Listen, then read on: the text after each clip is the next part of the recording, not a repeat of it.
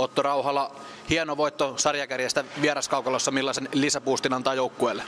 Kyllä varmaan tuo paljon itseluottamusta lisää, että se oli varsinkin se te- tepsipeli, niin se oli vähän oltiin sellaista, vähän sellaista hidasta peliä oli, että saatiin sitten mietittiin, että kyllä nyt, nyt hoidetaan tuo hifkipeli tuosta, että lisättiin sitä painetta sinne maalille ja se tuotti tulosta.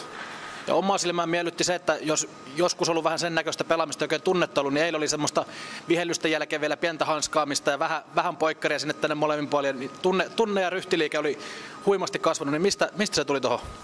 E- En osaa sanoa, missä se tulee. Kun joka jätkällä on se tunne mukana siinä täysillä, niin sitten se on todennäköisesti se peli, se peli, että sitten pelikin paranee, kun on tunnetta mukana. Omaa silmään nyt näiden pienien ketjumuutosten jälkeen teidän neloskenttä, sinä Savinainen ja Dixonin, niin olette ollut todella pirteitä ja pääosin vaihdot niin pyörii 90 prosenttisesti kaveri, kaverin päässä, niin tota, miltä se pelaaminen siinä Vellu ja Dixin kanssa on tuntunut?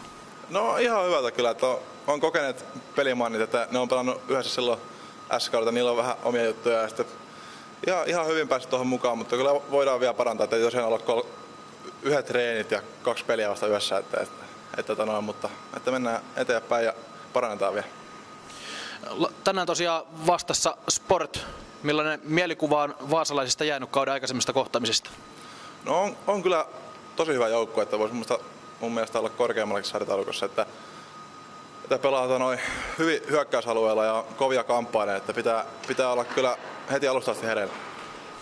Isoja pisteitä taas jaossa. Meillä, meillä taistelua siellä kärkipäässä ja Sport taistelee tosi kovaa pääsystä, pääsystä pudotuspeleihin myös, niin uskotko sä, että peli voisi olla vähän enemmän playerityylistä kiekkoa? No varmaan joo. Vähän sa- saman tyylistä varmaan kuin tuo hifkipeli, että kun tunnetta varmaan niin mole- molemmilla, molemmilla mukana, että on tosiaan tärkeitä pisteitä, niin kyllä, kyllä varmaan tulee kova taistelupeli.